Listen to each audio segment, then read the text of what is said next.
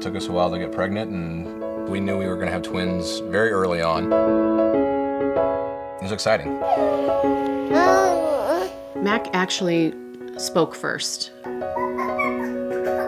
But then we noticed that his speech wasn't progressing like Rhett's was. Happy birthday, Mindy. We actually called Mack the observer out of the two of them, but truthfully, I just, I, I don't think he heard anything. We had his hearing tested, and that's when we found out that he was profoundly deaf. I called that night and, you know, started at CID the following morning.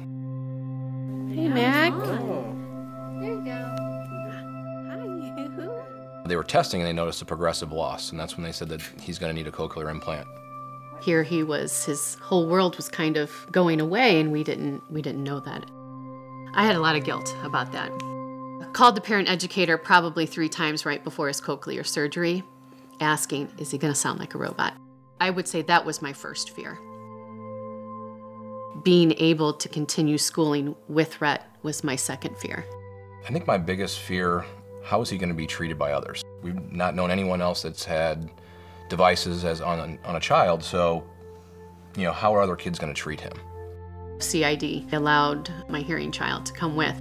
It was never just Mack's school and a school for someone like Mack. It was just a school. Just as Mack was, was catching up, Rhett was also excelling.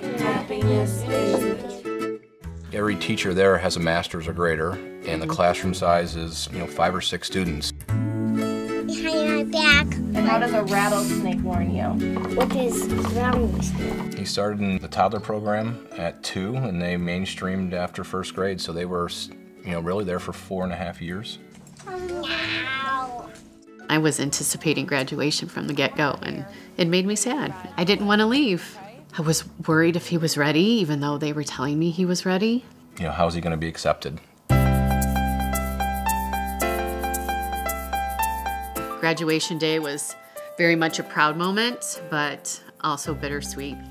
I was the second one that got to talk. I was so nervous when I wasn't talking. My name is Mackin I am five years old. When I grow up, I will be able to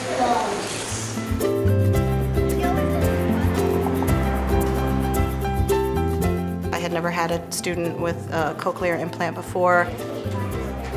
We did arrange for CID to come before school started, so they got to see the devices, um, see how they work, trained on how to use them and troubleshoot them. And then they actually came again when school started and spoke to the whole class what to expect and that they didn't need to treat Mack any differently. The teacher set the classroom up so that he could see his, his uh, classmates. The teacher wore the microphone so that he could hear her.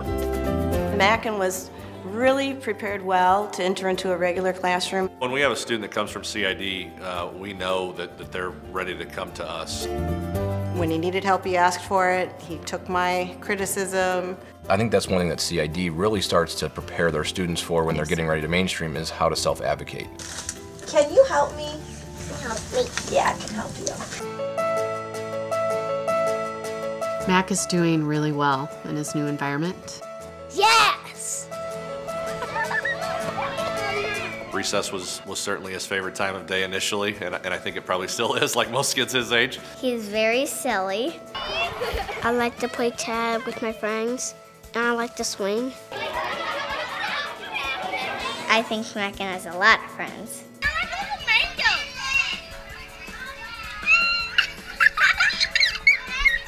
In school, my grades are really good.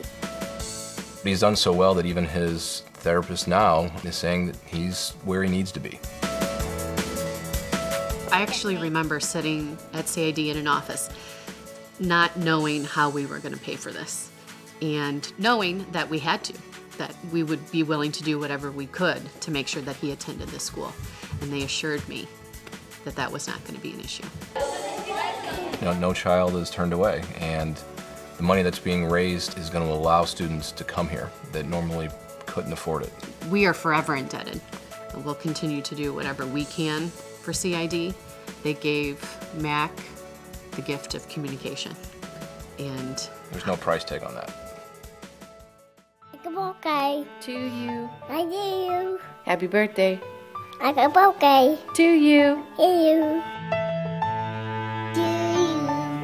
Happy birthday to you. Mommy. Happy birthday to you. Saggy Rock!